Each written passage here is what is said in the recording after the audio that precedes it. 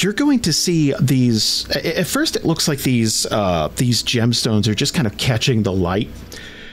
But the longer this goes on, you feel this energy course through like you've never felt more powerful. And it gets to the point where it almost hurts. Like your eyes are going to just burst forth with energy, and you're like it's this hulking, like, like like you're wearing a no fear t-shirt in a gym. You just benched more than you've ever benched, and you got to let everybody there know you're just screaming. Um, oh yeah, uh, literally like a Dragon Ball scream is uh, is happening. My power and level is Crave has no clue. Ah. As your mouth opens, these tendrils of lightning are joining your teeth, like there's a Tesla coil in there.